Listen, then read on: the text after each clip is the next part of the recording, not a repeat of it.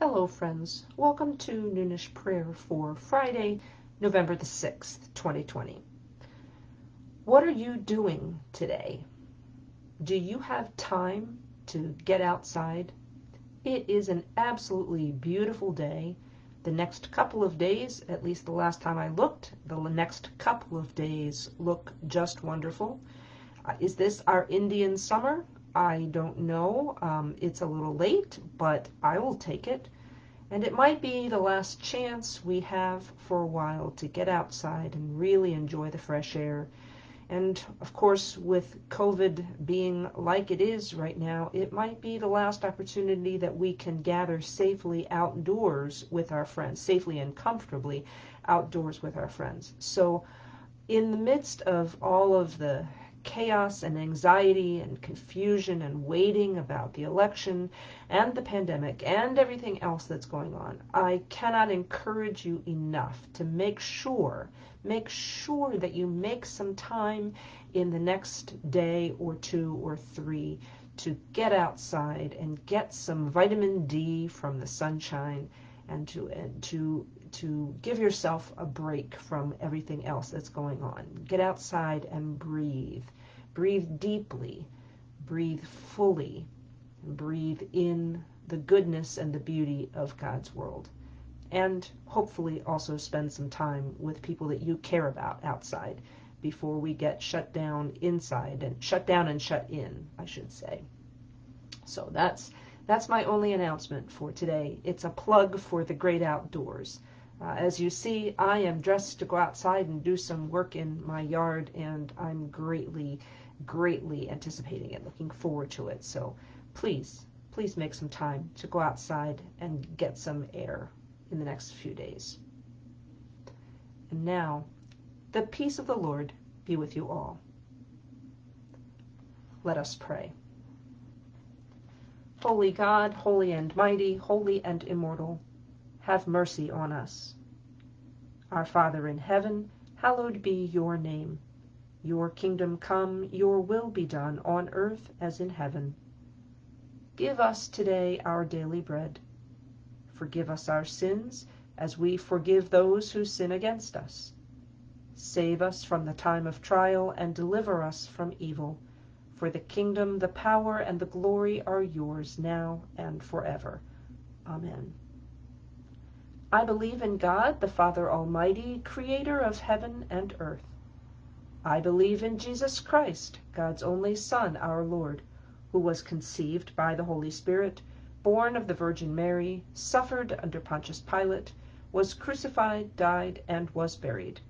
He descended to the dead. On the third day he rose again.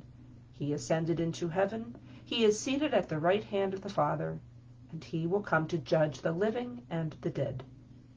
I believe in the Holy Spirit, the Holy Catholic Church, the communion of saints, the forgiveness of sins, the resurrection of the body, and the life everlasting. Amen.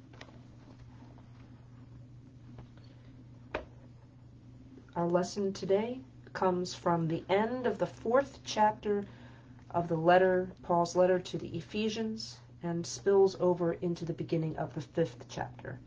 So I'm beginning at Ephesians 4, verse 25.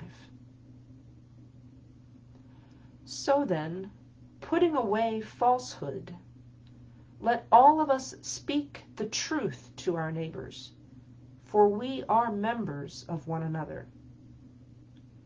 Be angry, but do not sin.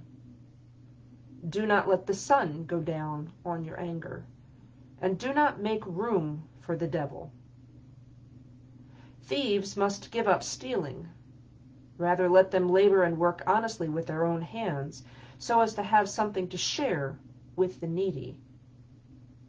Let no evil talk come out of your mouths, but only what is useful for building up, as there is need, so that your words may give grace to those who hear. And do not grieve the Holy Spirit of God, with which you were marked with a seal for the day of redemption. Put away from you all bitterness and wrath, and anger and wrangling and slander, together with all malice.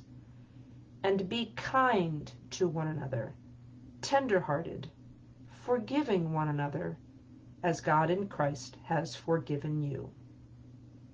Therefore, be imitators of God as beloved children, and live in love, as Christ has loved us and gave himself up for us, a fragrant offering and sacrifice to God. Here ends the lesson.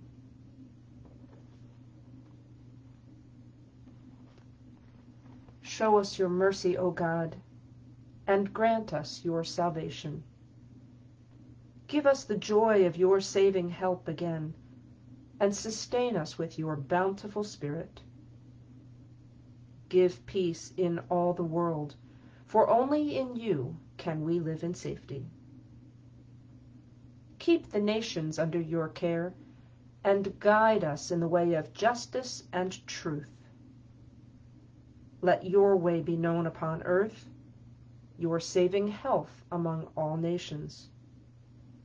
Let not the needy be forgotten, nor the hope of the poor be taken away. Create in me a clean heart, O God, and sustain me with your Holy Spirit. Lord, hear my prayer, and let my cry come before you. I invite you now in this brief time of silence to offer your own prayer petitions before the throne of grace.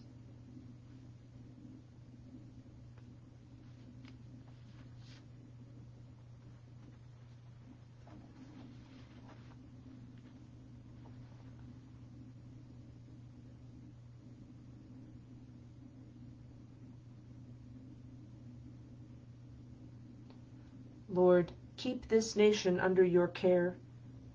Bless the leaders of our land, that we may be a people at peace among ourselves and a blessing to other nations of the earth.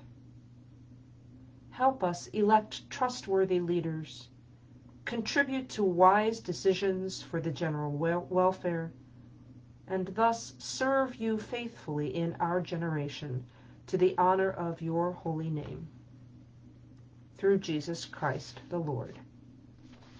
Amen. Lord God, when we are assaulted by the troubles of life and the deep waters of anger threaten to overwhelm us, do not let us sink.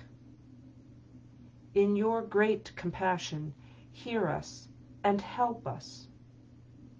Deliver us from anger's power over us Lead us out of bitter silence and hurtful words, so that we may speak the truth in love.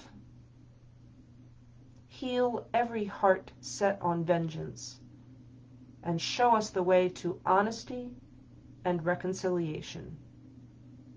Through the one who has shown us both impassioned zeal and forgiving love, Jesus Christ, our Savior and Lord. Amen. Friends, go out into the world in peace. Have courage. Hold on to what is good. Return no one evil for evil. Strengthen the faint-hearted, support the weak, and help the suffering honor all people. Love and serve the Lord, rejoicing in the power of the Holy Spirit. May God, the Father, the Son, and the Holy Spirit bless you and keep you today, tomorrow, and forever. Amen. Now, Go outside.